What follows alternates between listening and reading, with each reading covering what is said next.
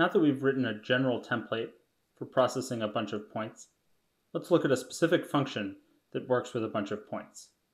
We're going to start by writing a function that draws a bunch of points to the screen, or rather, on a background of a certain size. Here's our signature, purpose, and header for draw all points. Now let's write some examples. Here are three examples for draw all points. If we draw nothing, we just get our background image. If we draw one point, we place a small circle at that coordinate on the background. And if we draw two points, constructed with two uses of make some, we draw both of those points with the same kind of small circle. The background image we're going to use is an empty scene. Now let's write our template. I've copied in the body of process BOP as our template. But there's one thing we have to change. Our data definition has a self-reference, so our template should have a self-reference as well. But we're still referencing process BOP. We're inside the draw all points function, so we need to have a self-reference that is a reference to draw all points. Let's fix up our template to be like that. Now we have an appropriate template, and all that remains is to fill things in. To fill things in, let's start with the none case.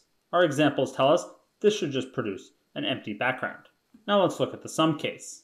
Here we're going to need several pieces of data, the x-coordinate, y-coordinate, and a circle image. Circle image doesn't change, so let's just write that into our template. We also saw in our examples that we're always going to use place image. Now we can see that the remaining task is to do something with process point. What helper function should we call?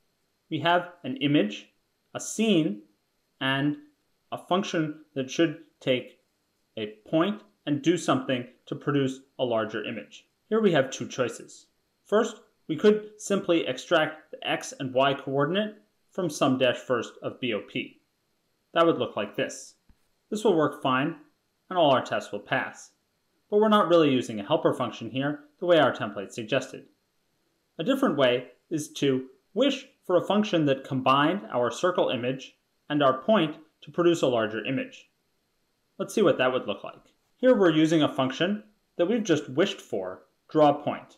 We haven't written it yet. It takes an image, a point, and a larger image, and places that image on the larger image at the appropriate point.